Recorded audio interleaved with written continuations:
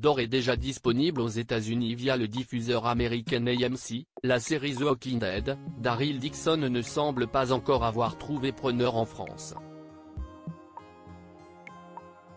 En effet, les diffuseurs historiques de la franchise, dont OCS, ont confirmé qu'ils n'ajouteraient pas la série à leur catalogue, rendant impossible la diffusion en US plus 24.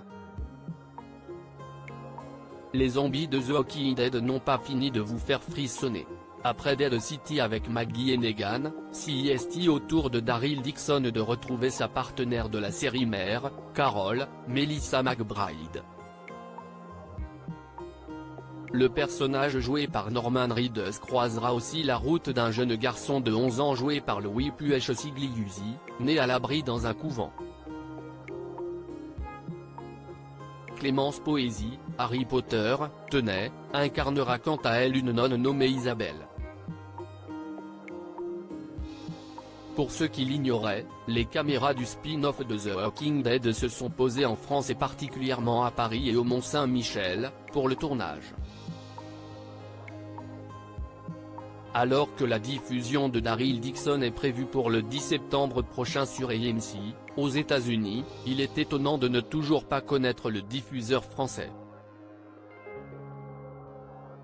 Sur quelle plateforme de streaming la série dérivée a-t-elle des chances d'atterrir? Où sera diffusé Daryl Dixon en France? Le spin-off de The Walking Dead n'arrivera pas sur OCS, Prime Video, Canal ou Netflix La rédaction de Télé Loisirs a eu la confirmation directe auprès des plateformes de streaming suivantes, Daryl Dixon ne sera pas diffusé sur leur catalogue. Si OCS, Prime Video, Canal ou encore Netflix ne font donc plus partie des options envisageables, qui reste-t-il? Paramount qui a pour habitude de diffuser en US plus 24 des séries diffusées sur les grandes chaînes américaines, ou bien une diffusion linéaire sur une chaîne de télévision comme TF1 ou TFX.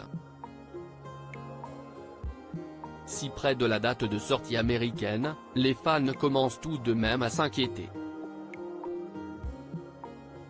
Pour les aider à patienter avant de connaître le diffuseur français, voici ce que Greg Nicotero, le réalisateur, a à dire sur la nouvelle forme de zombie à découvrir dans le spin-off.